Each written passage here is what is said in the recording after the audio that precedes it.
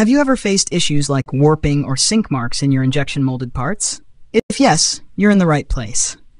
Today, we'll explore design for manufacturability, DFM, guidelines in injection molding to help you avoid these common pitfalls.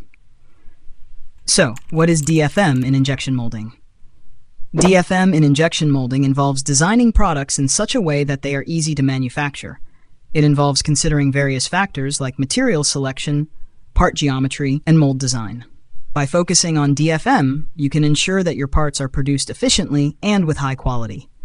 In this video, we'll primarily focus on 10 DFM guidelines for mold design, which include wall thickness, draft angles, ribs and gussets, gate design, undercuts design, bosses design, corners and radii, parting line, hole design, and surface finish.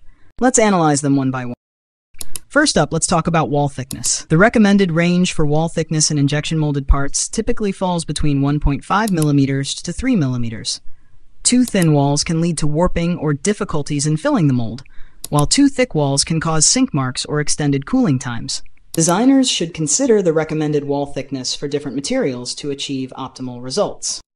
Next, Draft angles. Draft angles are slight angles added to the vertical walls of a part to facilitate easy ejection from the mold. Typically, a draft angle of 1 to 2 degrees is recommended for most materials, but this can vary based on the specific material and part geometry. When designing, always consider the type of material and the geometry of your part. For instance, ABS might require a 1 degree draft, while more flexible materials could need a steeper angle. Incorporating the correct draft angles can greatly reduce the chances of damaging the part during ejection. Moving on, ribs and gussets. They are structural features added to the wall of a plastic part to give it more strength and or support.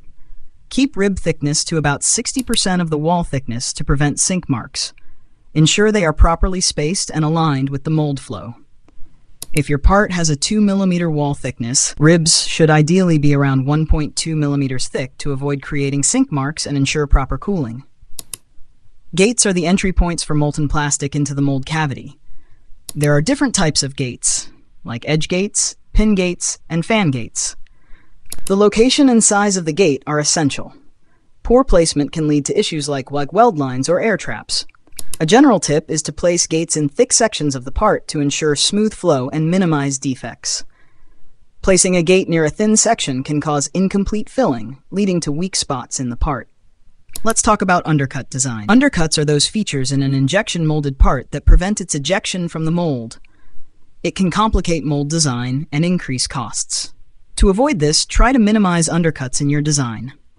If necessary, Use side actions or sliding mechanisms to facilitate mold release.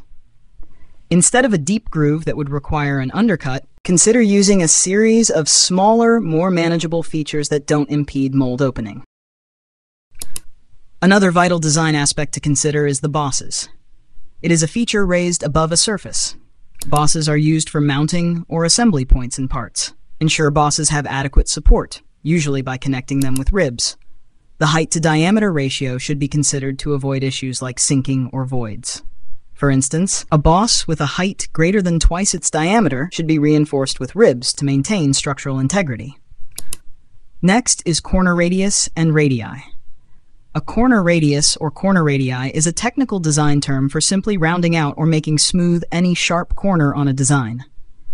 In injection mold design, it is important to avoid sharp corners as they can cause stress concentrations and cracks.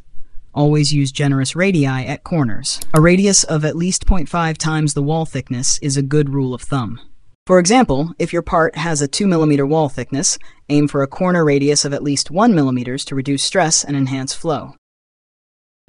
As for parting line, it is where the two halves of the mold meet. Carefully consider its placement to minimize flash and cosmetic defects. Align it with the natural lines of the part for the best results.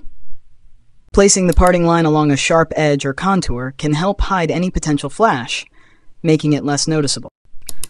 Hole design is a tricky aspect. Holes can be tricky, especially when it comes to their placement and size.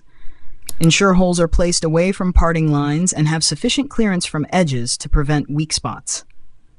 For example, placing holes too close to the edges can weaken the part, leading to potential cracks during use. Finally, let's discuss surface finish. In plastic parts, surface finish refers to the texture of the plastic part's surface. Achieving different textures on plastic parts surfaces involves adding a surface finish to the injection mold.